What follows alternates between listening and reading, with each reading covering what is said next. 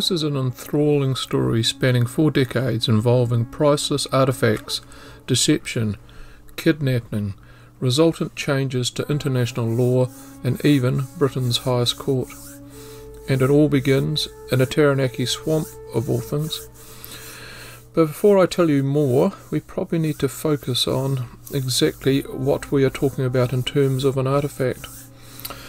Art and artifacts come in many mediums, although when one reads the headline Art Heist, you do tend to think about paintings. I've covered what I would call a conventional armed robbery of an Auckland gallery previously, and there's a link to that one in the description. Onwards. Figurines jewellery, another two perceptions when we are on the subject. That photo I took in Lima, by the way. In this particular case, we happen to be talking about panels.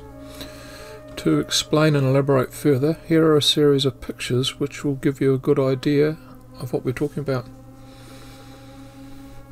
The largest one, by the way, is 1.5 metres high. Essentially, they are elaborately carved wooden panels that together makes one piece of art. Originally, the five, in this case, would have decorated a Maori storage house called a pataka. Here are a variety of patakas.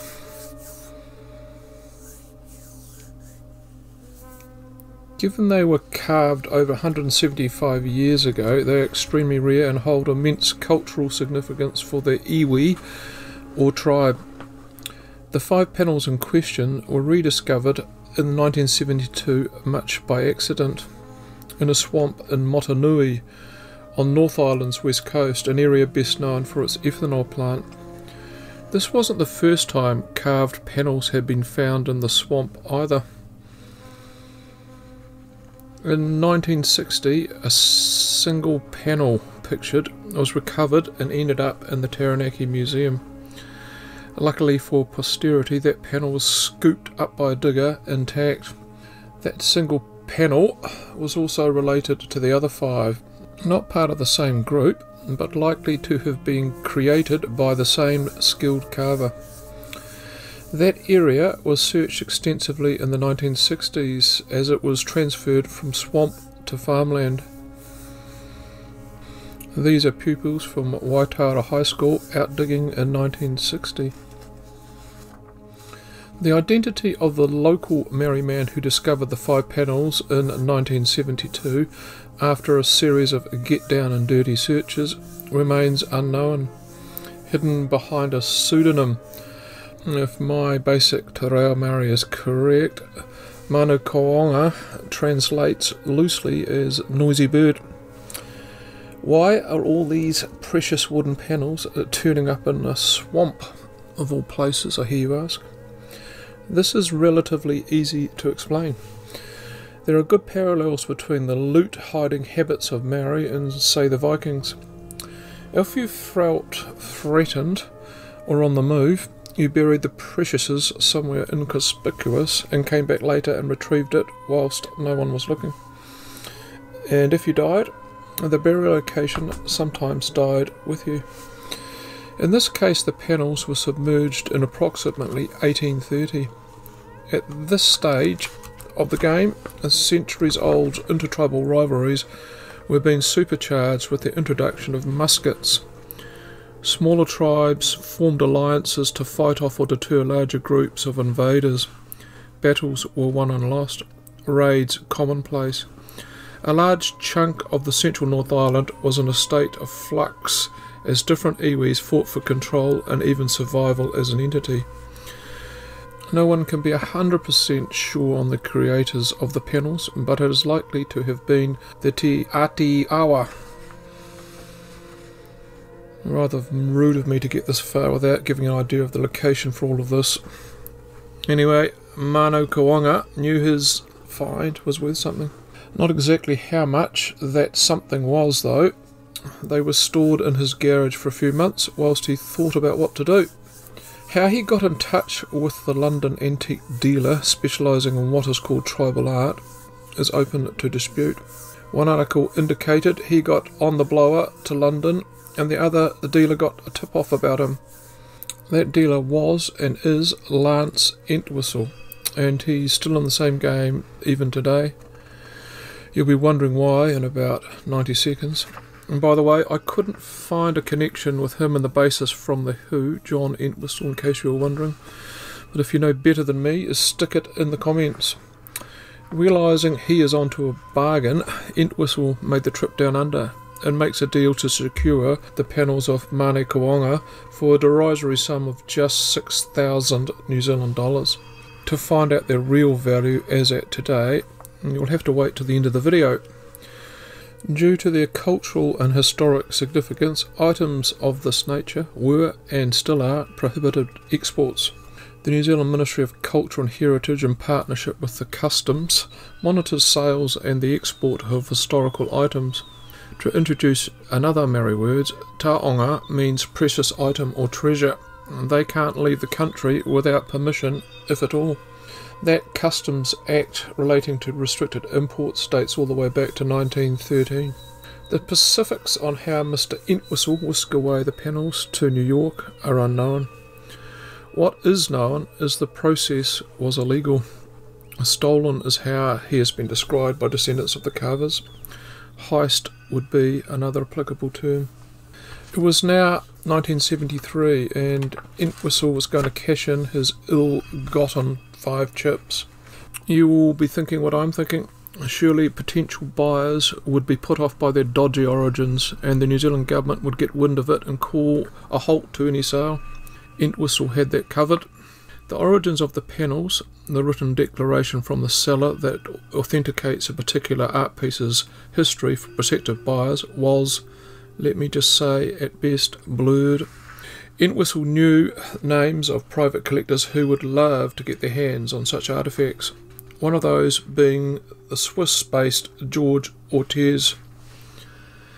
In April of 1973, Ortiz purchased the panels for US dollars, uh, 65,000, and air freighted them to his Geneva chateau and into his private collection.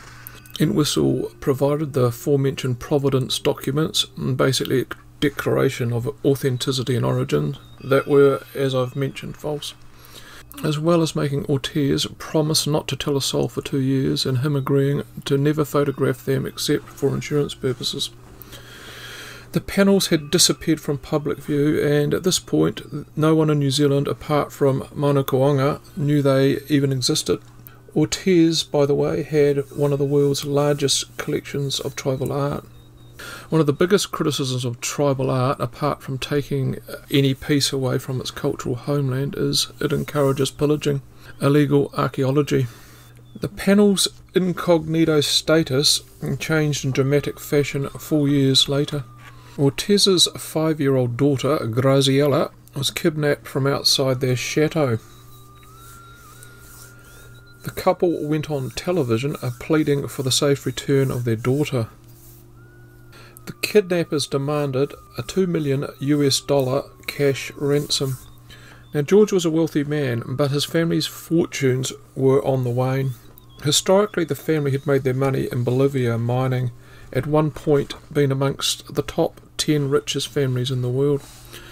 Those glory days, however, were long over. Assets he had aplenty, cash little. Harley sent off selected items from his primitive art collection to Sotheby's in London to auction. Amongst the 234 items in the catalogue were the Motunui panels. Their price tag had risen to 300,000 English pounds, approximately 600,000 New Zealand dollars to keep the values in one consistent currency. It was only then New Zealand authorities became aware of their existence and wanted to know exactly where did they come from a writ from the New Zealand Attorney General was issued. This led to the panels being withdrawn from sale just three days before the auction started, pending authenticity. The rest of the auction went ahead and raised close to 3 million US dollars. Eleven days later, $2 million in cash of what was left was left on the side of the highway for the Italian kidnappers to collect. The exchange took place and Graziella was thankfully returned unharmed.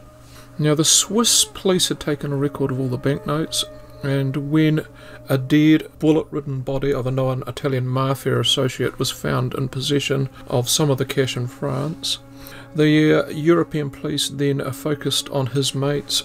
Most of the Italian kidnappers were later therefore caught, tried, and imprisoned. Little to none of the cash was ever recovered. And Sotheby's returned all the unsold items back to Ortiz. The panels, however, they were in limbo. The government of New Zealand thought the government of England would be kinder to their plight.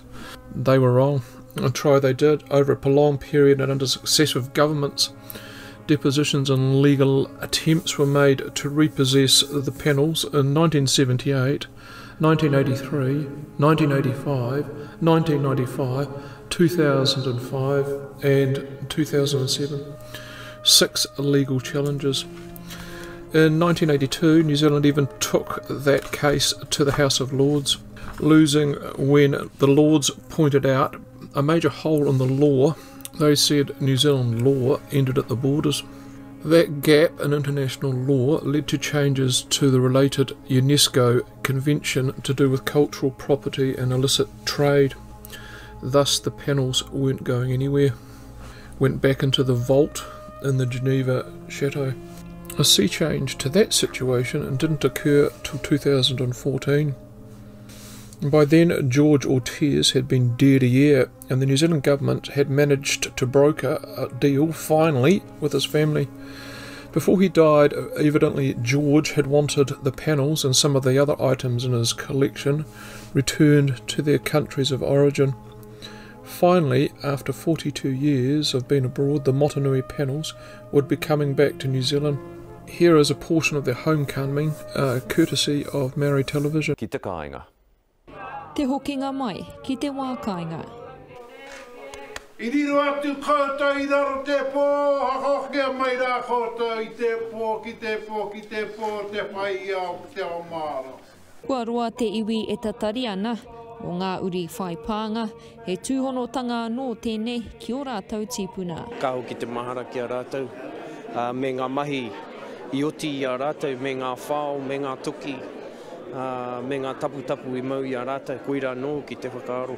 Te kita atu i ngā tauira, uh, ka hoki anō te whakaaro ki a rātou ki te wā i mahi ai rātou i ngā mai. He taonga e nei kua whakahoki atu ki te iwi, i roto i tō rātou whakataunga tiriti me te kāwanatanga. Tagging along for the trip was George's widow Catherine and their son Nicholas. And Catherine said, We are very happy that this has come to be, and more so they are now displayed in the wonderful Puke Ariki Museum amongst their people. So, what was New Zealand's greatest art heist worth? The sale price the taxpayer paid was 4.5 million New Zealand dollars, roughly 3.5 million US dollars at the time. Panels had now come full circle. They are now on display at the Puke Ariki Museum in New Plymouth. At the beginning, I mentioned that this is where the lone 1960 panel ended up as well. As a side related story, Maori artifacts have shot up in popularity over the last decade, and this statue went close to surpassing the panels, fetching 3.7 million NZ at Christie's auction in Paris this year, 2021.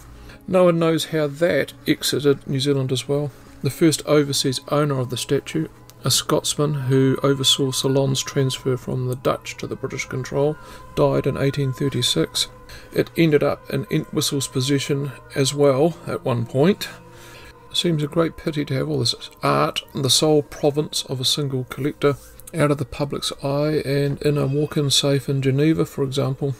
Mihi mihi, or thank you for tuning in. My te reo in Italian are rather rough, but I'm always happy to have a crack. Better to try and fail than not at all. Likes and subscribers are what keeps this study room project ticking. Don't forget that other video I told you about, about the brazen daylight stick up of the Auckland Gallery in the description below. That involved a ransom as well, another great Kiwi yarn, and a master criminal. That chap was not. Spot you next time for more interesting things.